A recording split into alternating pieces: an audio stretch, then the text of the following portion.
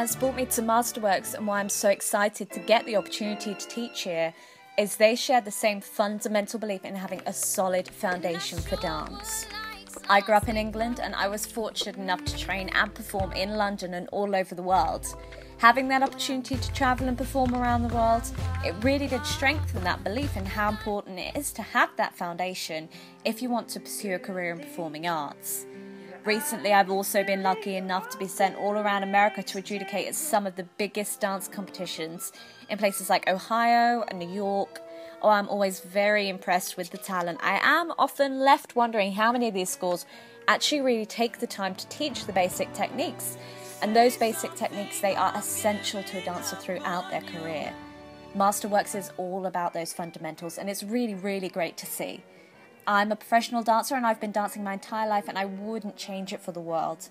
I love performing, and I'm really looking forward to sharing my experience with everyone here at Masterworks School of the Arts.